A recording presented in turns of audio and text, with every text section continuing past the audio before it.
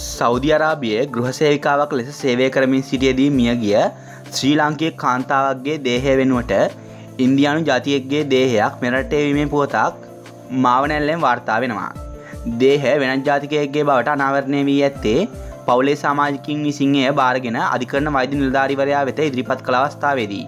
මාවනැල්ල මාලි අධ ප්‍රදේශයේ ජීවත් වූ බණ්ඩාරමැණිකේ ගෘහසේවිකාවක් ලෙස සෞධ්‍යරාබයට පිටත්වයන්නේ දෙදස් පහළ වසරේ දෙසැම්බර් පාලොස්වනිදායි. ඉන් පසුව ඇය ලංකාවට නොපැමිණියත් පවුලේ සාමාජිකින් සමඟ දුරකථනය ඔස්සේ සමත්තා පවත්තා තිබෙනවා.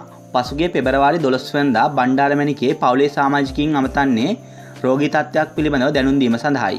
ඉන් පසුව බණ්ඩාරමැණිකගේ පවුලේ ඥාතීන්ට වෙනත් කෙනෙකුගේ දුරකථන ඇමතුමක් ලැබෙනවා. ඒ පසුගිය පාලොස්වනිදායි.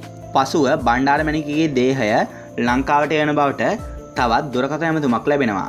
ඒ අනුව ඊයේ පස්සරුවේ බණ්ඩාරමැණිකගේ දේහ බාර ගැනීමට ඇයගේ ඥාතීන් කටුනායක ගුවන්තොටපොළ වෙත යනු ලැබවා.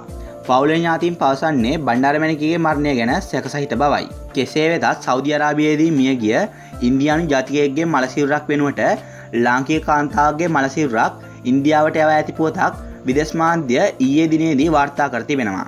අලුත්ම ගොසිප් දාපු ගමන්දන ගන්න. දැම්ම අපගේ YouTube චැනල් එක සබස්ක්‍රයිබ් කරන්න. ඒවගේ මේ වීඩියෝ එක අනිත්‍යාලුවන්ටත් බලන්න ෂයා කරන්න අමත කරන්නත් එපා.